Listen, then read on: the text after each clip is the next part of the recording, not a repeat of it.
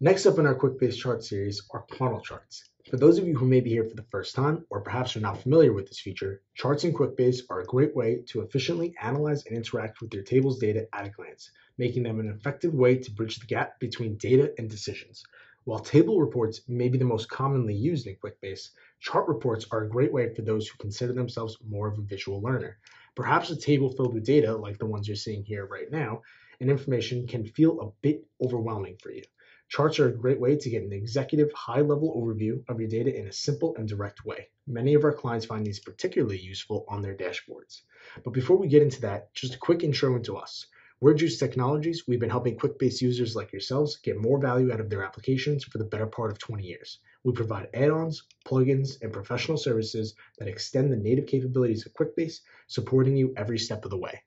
Now, as I mentioned, the funnel charts are going to be made in the reports and charts section from the top. So in this example, we're looking at the company's table and we open down reports and charts and we're going to hit new. Now we're going to select chart in this example and create. Once you're in your chart, we can simply call this a funnel report and we'll keep this as my description. As I've mentioned in other videos, you can always narrow down who can see this report based off of their role. So you can choose either users in my role or users in a specific role. You could also hide this to only be yourself.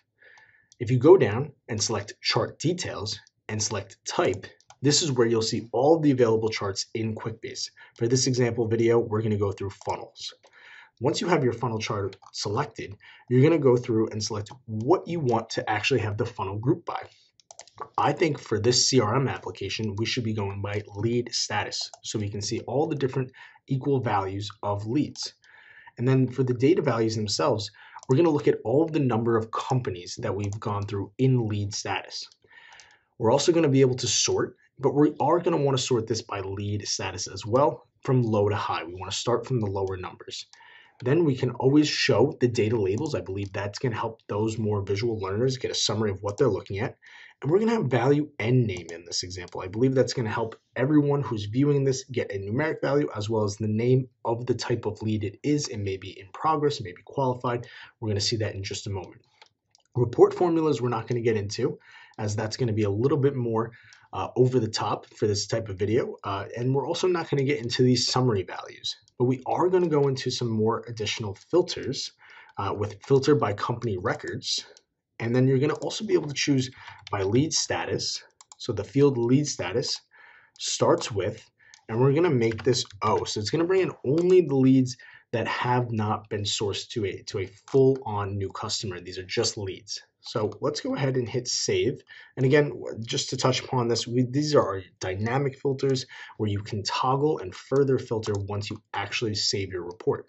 So let's see here, we have 24 records where the lead status starts with O, so these are all our new leads.